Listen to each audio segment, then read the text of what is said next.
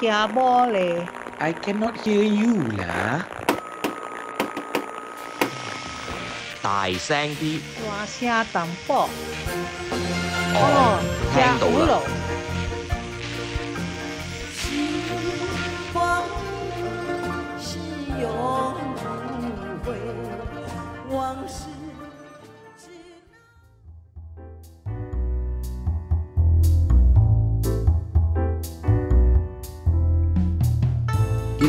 今日咱来拍一拍潮州菜在传说，毋知你嘛知影无？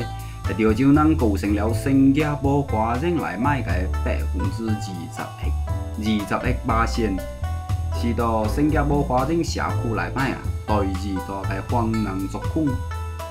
新加坡潮州人多少是源自广东省潮汕地区，潮汕地区就包括了潮州、汕头、吉阳、红顺等等地区。所以啊，学做咱新加坡华人嘅饮食习惯，拢受潮州人嘅影响。比如那啉茶、肉醋面、鸡杂、鸡条汤、角蒸、角肉嘅果果啊、凉片啊。笑都笑唔清。一讲起潮州嘅饮食文化啊，啊硬好上使着拿着诶，就是功夫茶。啊，毋知恁有注意到无？伫食功夫茶诶时候啊，当一个主人甲客人伫食茶。如果只功夫茶已经摆到人诶面头前有一段时间哦，但是客人啊，踮久着都打话啊、食菜啊，还无人食茶。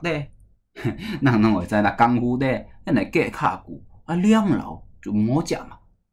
食诶时候啊，主人或者是其他想爱买卖食茶诶人呢，就会伸手出来，敲一下桌面，引起人注意。人时阵啊，来食食食啊，请请请。老如果有注意到诶，老就会发现即个敲床诶人啊，通常是屈起诶手指，然后用食指甲动指。啊，就是第二甲第三个指呢，甲伊个光泽去卡一下桌面，这个啊，实际是雕塑来买一层白书的礼则，表示对客人嘅尊重。一个说这层礼则啊，该是有来有外，是出自之个乾隆下江南的故事。乾隆就是清朝的皇帝嘛。啊，传说啊，乾隆当年甲这有一声大清来到江南的一个小茶馆。来食茶啊，坐落来，个茶摆起来之后呢，乾隆因为家己个皇帝，啊，一路都有人伺候，啊，熬夜袂打，啊，倒夜袂困，但继续同故意家己都陪话。但是身边啊大清就毋免啊，啊，一路相随这个皇帝，哇，熬打死，啊，倒困死，想要买卖食买茶来消暑可以看。但是，皇帝无食茶，大清都毋敢使动手。这个大清呢，又不爱因为这件事、这小事来专门提醒皇帝，也莫比这皇帝使食茶，因为这红嘴龙啊是公在色地，就砍头的。更因为这个时候啊，乾隆是梅福出孙，当着房堂的面，莫暴露皇帝的身份，遐系做人话呢？紧急之下，这个大清就想了一个办法，伊就屈起个手指，用即个食指甲东西这两个菜啊，都足茶尾足边哦，卡了过来，表示他向底去皇帝。即个屈手指这个动作啊，就表示他跪落来的意思啊，耳仔当做腿跪落来，向皇帝敬礼。呀，听到这个传说。相信好多朋友也是会想起呐，诶，类似的礼则，或是有广东人也是有咧。啊，就是帮人个落冲茶倒水的时候啊，你也是屈起手才来，都叫茶尾就边哦，卡桌面，表示呐感谢感谢。迄只由来啊，朋友甲乾隆下茶款有关。乾隆上喜欢落江南啊，穿着凉服啊，带几个随从，无客人知那伊个皇帝。兴致勃勃诶，就来到这江南诶一个小茶馆去食茶。啊上茶诶时候呢，乾隆诶一时高兴，看到一只茶壶哎呦，就求只茶壶啊，小有伊身边啊随从啊大声倒茶。哇，红落一只皇帝却袂惊起了，你就跪落去去祭。遐随从起只乾隆皇帝只独掌的高堂啊，迄惊啊到爱死。哇！这个时候，我乃跪落去去祭伫话，就暴露了皇帝的身份。但是乃是卖鬼呢？你是耍头之罪啊！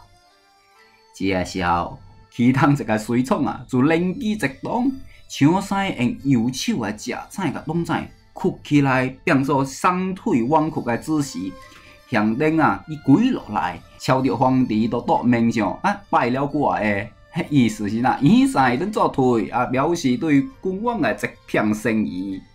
后来，诶，这个故事就传开了。啊，以后就独占变做了，现在就大面上啊，卡落来手上，表示啊感谢个礼数。咱人新加坡国境太平洋嘛，海线丰富，新加坡人非常喜欢食鱼，啊，也非常喜欢食河蚶。但是，各位一定有想过一个问题无？河蚶该是从哪来个？迄潮汕人、潮州人上喜欢食河蚶，关于这河蚶的制作，究竟是有咩故事呢？其实啊，就潮州闽江啊，有一个传说，是关于河蚶的。公元在三四百年的时候呢，有一个楚国哦，咱上直接也是有配过楚国啊。楚国内面啊，有一个大王叫做楚平王，这个楚平王啊。非常喜欢食好，食日无好，心内就毋舒服。但是即个楚平王的性格，非常个暴躁，啊，一点拢毋敢食伊。可笑的是，伊食好的时候啊，如果毋知讲去何骨何齿，惊着呕。伊从来个无怪伊家己粗心，爱怪伊是怪道士，而且伊还通道士来刷掉呢。哇，即个就冒昧啊！有一日。环境内面呢，就有一个新来的道士来主理。这道士啊，是潮州人啦。哎，这道士后来哩，上有老母，下有老囝，伊就非常为伊家己的性命担忧。想来想去，想来想去，哎，伊就想到一个妙法。这个大王爱食个是河内，毋是河池河骨。遐，我就使想办法，通好内甲河池河谷分开来，然后呢，通将全部拢安捏个物件呢，甲伊加上配料布色，则使将迄敌毋到即个大王甲肯定，啊起码也保住家己个头，大王硬好背去河池河谷惊着呕。想出这办法之后啊，这个导师就按这个办法做了几份河衣。后来，这楚平王啊，非常喜欢这种省钱的食好方法。这种方法也就传到了环境外卖，传到了南方，传到了咱潮州地区。又经过咱潮州都市的改革啊，就变成了富有潮州菜特色的河蚶。各位一定有听过另外一道菜叫做护国菜吧？哇，护国菜，保护的护，国家的国。保护国家，这护国菜名头叫到遐响，究竟是咩解呢？其实啊，护国菜是一道非常简单的潮州菜谱，伊只不过是普普通通的布黄子肉，黄子肉用滚水去煲，煲呢再水再米，啊配上草果啊、啊绿醋啊，啊，人定是这西北人定是还摆做个八块的形状。啊，一卖是绿色的黄子肉，一卖是白色的肉汤。遐做呢几道菜叫做护国菜呢？嘿，其实就内面啊，也是有这个故事。南宋末年，唐朝的小皇帝啊，去元朝蒙古大军直路对刷，匆匆的夺命来到咱这潮州地区。有一日，这个小皇帝的队伍啊，就路过一座山内面的一座破庙。哇！这小皇帝毋下个个老囝啊，殴打倒困，就到这庙内面个香食，一庙内面个花香就慢慢出来自家。哇！皇帝来啊，是了不起的事啊！但是现在问题来了，当时是兵荒马乱的时候，一破山破庙内面花香本来就家己无咩物件好食，如果有咩好物件来应付军队，如果有咩好物件来招待皇帝呢？无奈，花香啊，自钱互就地取材，啊，去迄庙后摆个迄厂内卖个掠遐未真成色个黄子个肉，然后无做汤，硬着头皮恭恭敬敬曲到皇帝面头前。无想到，只个落难个小皇帝，果将两三口就食得啊！哇，食得哈顿凉声啊，好食，好食！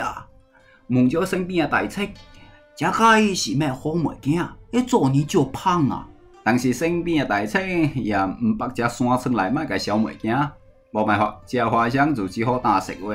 啊，这个也咪咩好物件，只不过是普普通通个黄子叶。无想到，这个小皇帝不但无生气，还好欢喜，认为那多只大宋江山危难之死，小小的黄子叶也能够救家无功，就通补黄子肉这道菜封为了护国菜。哈哈，这就是护国菜这道菜的由来啊啦。呀，这护国菜这道菜啊，咱经常当潮州人食多的时候，经常有看到这道菜。咱会知正宗诶，只潮式诶酒笑啊，闽讲就叫做食肚食肚啊，食肚个头道菜甲最后一道菜呢，通常爱咩解？通常就是点食啊，点品。因为咱传统上是讲究点头点尾，即两道点食呢，虽然可以是各种点食来卖个人味诶两道啊，不过习惯上呢，其中经常有一道。就是点藕泥啊！我上喜欢食点藕泥。遐是做呢呢？是因为潮州这地区历史上是食汤诶传统山地正甘蔗，而且芋头呢自古就是潮汕这地区个土特产，所以又有蔗又有芋头，啊点芋泥这道菜就做出来了啊！啊，这道菜复杂就已经是潮州人上喜欢个食物了。有一个点芋泥个民间故事啊，哦，精彩！相信好多人可能有听过。故事在即个鸦片战争时期，作为钦差大臣个林则徐、林则徐啊，来到广东个车金鸦片。有一次，到一个外交个场合，就红毛人就请啊林则徐去食肚，最后呢就取出一道 ice cream。啊，酸果冰淇淋来代客。林则徐个诶，宿内摆呢，从来毋捌听过只冰淇淋，啊，听着伊都冒白烟，做哪做哪，好笑。伊就习惯声啊曲起来，嘣一个，然后再食。哇，无想到就红毛人看着啊，全部拢哈哈大笑起来。原来啊。就咪是叫红毛人就鸦片相认个设计，故意害啊林则次伊人出头来动摇伊人禁鸦片个立场。林则次不动声色，到一只次个会议之后，林则次就回请就红毛人。一食大个时候呢，先是上了一声普通个美食，最后啊就上了这一道点芋泥。咱会知点芋泥啊是一个好烧个。不过伊热气啊，佢就表面个食汤甲一根油去压到过，所以袂冒烟。哇！上在厝遐哈哈大笑，声音上大，遐红毛人摇了满满只汤匙，就按到我吹落去。哇！又通入喙啊，点毛呢吐了出来。哇！只汤，伊个喙皮已经烫出泡了。这个是就轮到中国人来笑笑红毛人了啊！闽讲关于潮州美食的传说啊，就是我认为好有意义。遐讲人有一句话呐：“江山夜书文人碰。”道理平样。啊，潮州美食也是借助各路先生、李王甲其他个历史名人来捧场扬名。